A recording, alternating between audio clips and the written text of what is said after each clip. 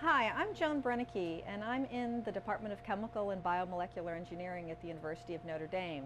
I'm also director of the Notre Dame Energy Center and our Sustainable Energy Initiative.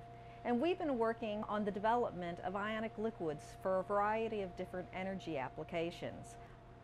Ionic liquids are low melting salts. In fact, many of them help melting points below room temperature, so they're actually liquids at room temperature. So this is 100% salt, not salt dissolved in water.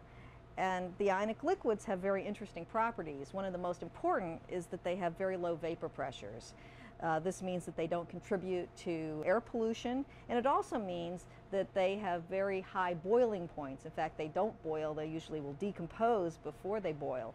So we have a uh, liquid that's liquid over a very wide temperature range, and we can take advantage of that in uh, designing ionic liquids for use in uh, various different processes.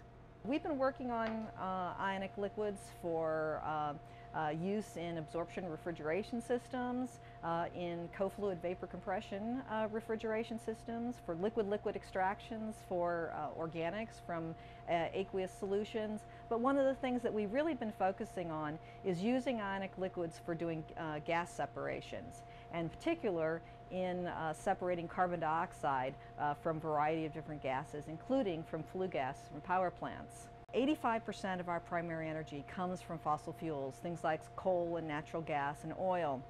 And even with very vigorous developments of renewable energy resources, uh, that percentage isn't going to change very quickly. So it may be several decades before we see renewables uh, displacing fossil fuels to any great extent.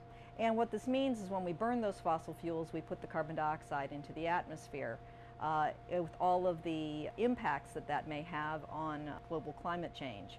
So people are very interested in trying to separate carbon dioxide from point sources, things like power plants.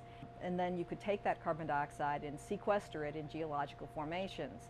Uh, the problem with this is with current technologies, which would use aqueous amines, uh, you would uh, use about 30% of the energy from the power plant to do the separation process. And clearly that would uh, be very expensive, both from an energy standpoint and from a cost standpoint.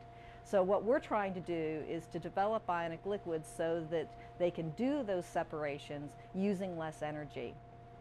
Our approach to developing ionic liquids for removing carbon dioxide from flue gas or from power plants has been to incorporate amine functionality directly into the ionic liquid. Uh, what we found is if we put the amine on the anion instead of putting it on the cation, we can actually get twice the capacity so that we can capture one mole of CO2 for every mole of ionic liquid.